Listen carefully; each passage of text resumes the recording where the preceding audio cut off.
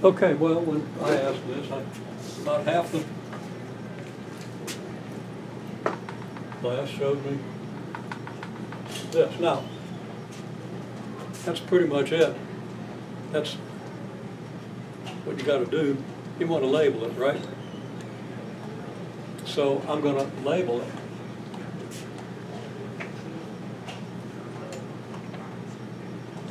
Two ways I can label it.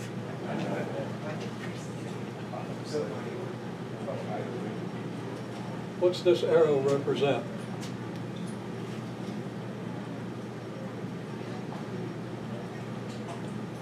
Well, it represents the y value when plug in x, right? It's the y value of this function for x. Okay?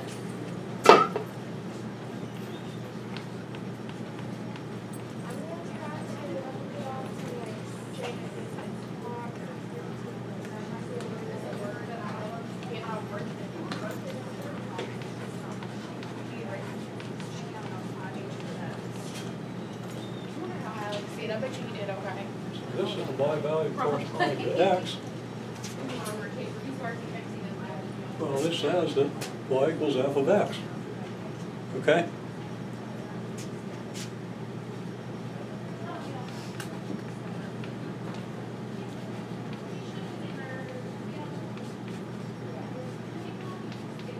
This arrow represents f of x. So I'm gonna label that f of x.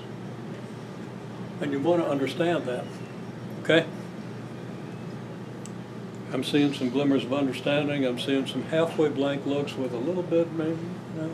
So I am, try to draw this out with some homework problems, okay? Try to make it really clear. And then, what's this represent?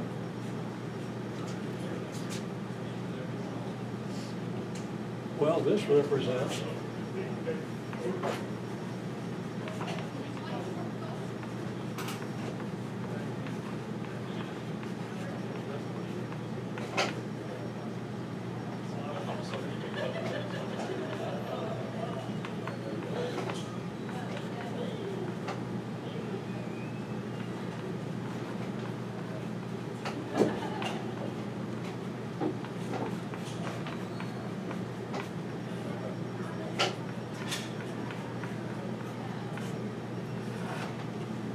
So we're gonna label this, okay, this rep, this y value corresponding to x plus h, that is, this represents f of x plus h. We're gonna label that f of x plus h.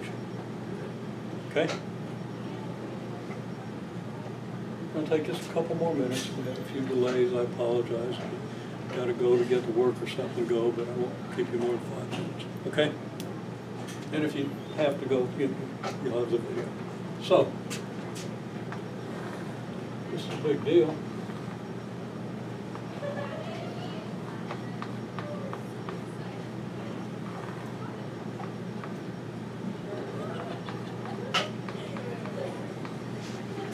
Okay, this is f of x, and this is f of x plus h. I can sketch, I can sketch a line segment from here to here. Okay?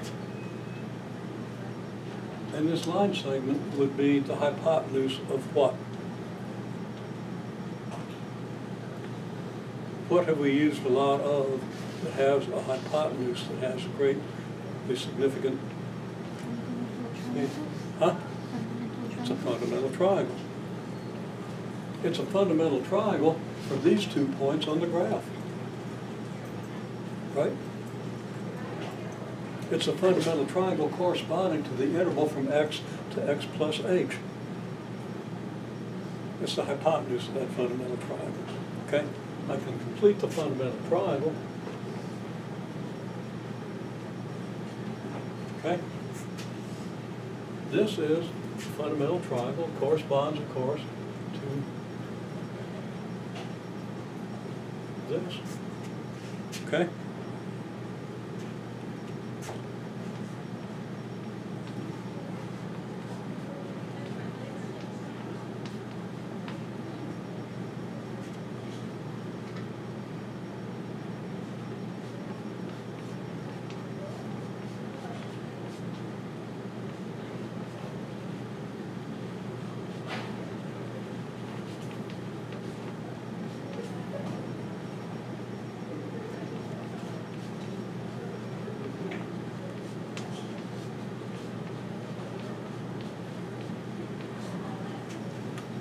Corresponds to the interval x, x plus h.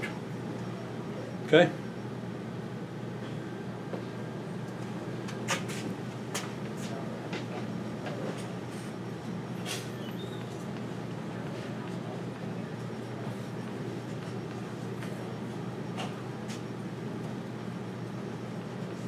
Rises, change in y.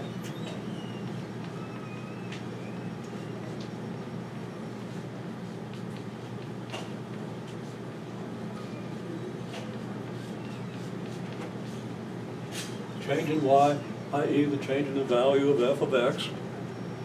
And if we know what f of x represents with units and stuff, now we know what the rise means in terms of the units, right?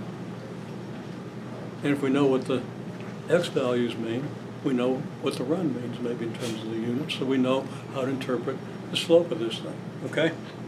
Because obviously that's what we're leading toward, run.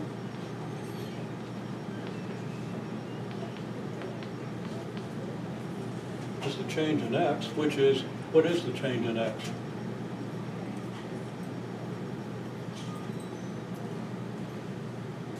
From x to x plus h, how much did x change? Plus H. Huh? Plus H. By h, and by plus h, right? Okay?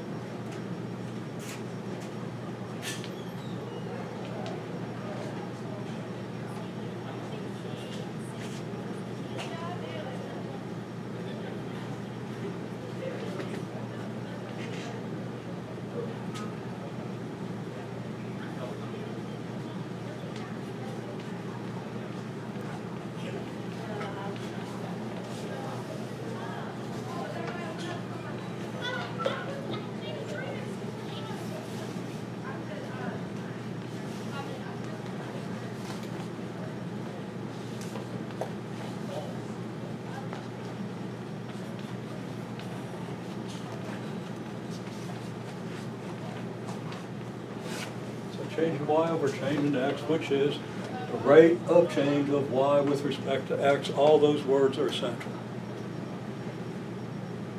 I Keep leaving out the word rate or the word change.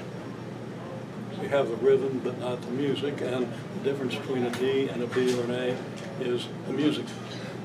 Okay? Class as a whole is at least at the level of knowing the rhythm.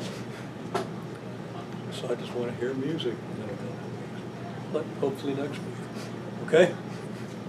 So I'm looking forward to that. Okay? And you can do it. You know, grade level test, we're lower than they should be. Everybody's got ability to do at least a letter grade or two better. Okay?